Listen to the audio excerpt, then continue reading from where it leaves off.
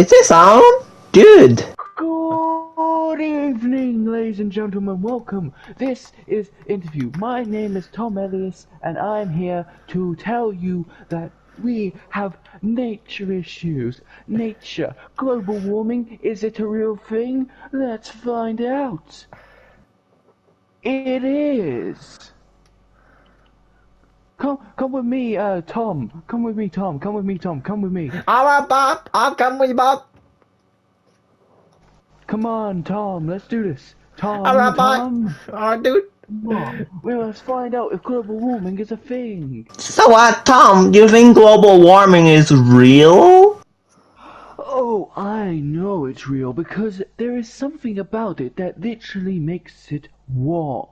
We're going to find out if the water is warm. You getting this, Tom? Tom, Tom, Tom, Tom, Tom, Tom, Tom. You ready?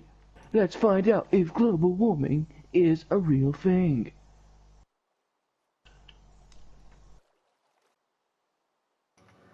Did? Did?